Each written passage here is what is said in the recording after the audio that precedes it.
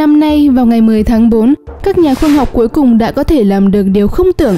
Họ cho phép loài người nhìn thẳng vào vực thẳm của một lỗ đen siêu lớn và chụp ảnh kỷ niệm. Nhưng ngay cả sau những thành tựu này, chúng ta vẫn chưa biết nhiều về các lỗ đen, vì một lỗ đen đã thách thức toàn bộ giới khoa học với những đặc điểm đáng kinh ngạc.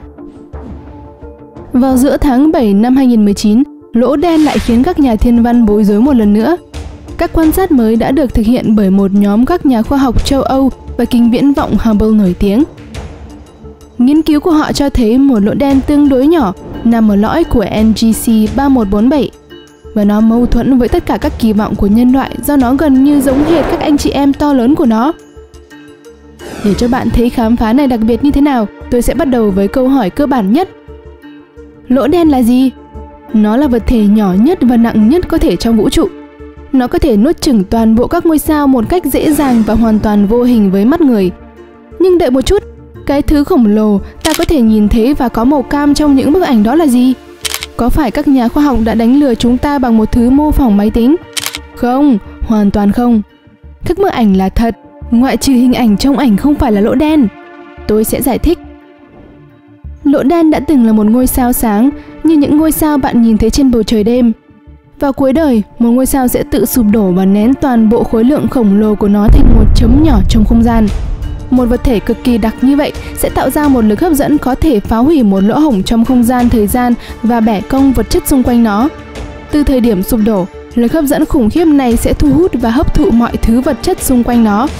Ngay cả những hạt nhẹ nhất và nhanh nhất trong vũ trụ, như photon cấu tạo từ ánh sáng cũng không thể thoát khỏi sức hút quá mạnh này. Lõi và trung tâm khối lượng của lỗ đen này được gọi là điểm kỳ dị. Đây là nguyên nhân duy nhất của tất cả những thứ kỳ quái xảy ra quanh nó. Khối lượng của thứ này có thể đến từ hàng trăm triệu đến hàng trăm tỷ mặt trời. Và vì khối lượng của nó chiếm rất ít không gian nên mật độ của nó gần như là vô hạn. Không có gì ngạc nhiên khi điều này dường như phá vỡ tất cả các định luật vật lý. Trong thực tế, mật độ là điều thú vị nhất với các lỗ đen. Bạn thấy đấy, hóa ra bất kỳ vật thể nào cũng có thể trở thành một lỗ đen nhỏ bé nếu được nén đủ chặt. Ví dụ, hành tinh của chúng ta sẽ phải thu nhỏ lại còn 0,8 cm để trở thành một điểm kỳ dị nhỏ bé và bắt đầu bẻ cong thực tế xung quanh. Tất nhiên, điều này không thể xảy ra, nhưng nó sẽ xảy ra với những ngôi sao cạn kiệt. Không gian xung quanh gần điểm kỳ dị chính là chân trời sự kiện khét tiếng.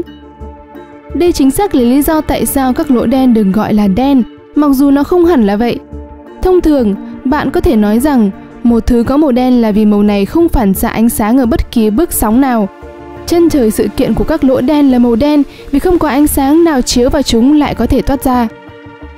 Vì vậy, các lỗ đen không phải là màu đen mà chúng là vô hình. Chúng chính là biểu hiện hữu hình của sự hư vô đối với các thiết bị nhạy sáng. Nó là duy nhất trong toàn vũ trụ. Điều làm cho lỗ đen có thể nhìn thấy được và được mô tả trong các bức ảnh được công bố gần đây nằm ngoài chân trời sự kiện. Nó gọi là đĩa bồi tụ. Nó là một đĩa vật chất được chiếu sáng rực rỡ, xoáy về phía trung tâm của một lỗ đen giống như một xoáy nước khổng lồ, tạo thành một chuẩn tinh.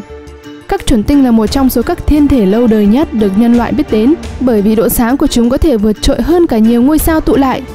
Độ sáng này có thể đạt được bởi vì tất cả khối lượng bao quanh một lỗ đen đang quay với 1 phần 10 tốc độ ánh sáng. Một chuyển động nhanh như vậy dẫn đến sự bùng phát bức xạ liên tục và một số bức xạ đã hiện ra trong quang phổ nhìn thấy được dưới dạng ánh sáng và nhiệt. Các đĩa bồi tụ bao gồm chủ yếu là khí quá nhiệt và bụi không gian và tốc độ di chuyển của chúng tăng lên khi chúng đến gần hơn với chân trời sự kiện. Các đĩa bồi tụ lớn và xa nhất được coi là có các lỗ đen siêu lớn nằm trong lõi của các thiên hà lớn và sáng nhất. Lý do cũng rất dễ đoán, lỗ đen càng hấp thụ nhiều vật chất thì khối lượng của nó càng lớn chân trời sự kiện của nó cũng trở nên lớn hơn và một đĩa bồi tụ sẽ hình thành xung quanh nó. Đây chính xác là lý do tại sao hố đen của NGC 3147 lại rất độc đáo. Lẽ ra không thể như thế mà lại chính là thế.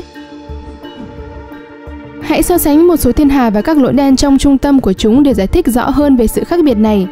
Ví dụ tiêu biểu nhất sẽ là lỗ đen nằm giữa thiên hà lớn nhất sáng nhất của cụm sao mà chúng ta biết, Thiên hà này lớn đến mức khó có thể tưởng tượng nếu chỉ sử dụng các con số. Nếu thứ khổng lồ này thay thế thiên hà của chúng ta, nó sẽ không chỉ thay thế giải ngân hà, mà còn một số thiên hà lân cận nữa.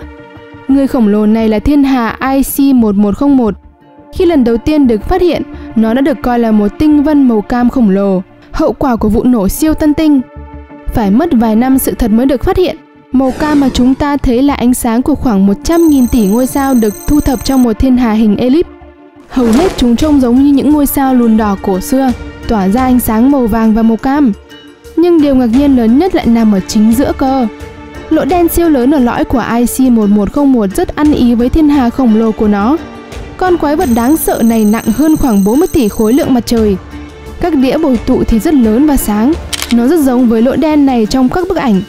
Chỉ là những lỗ đen khổng lồ này đôi khi được gọi là lỗ đen cực lớn, thế nên ta mới có cơ hội phát hiện ra hình hài của chúng.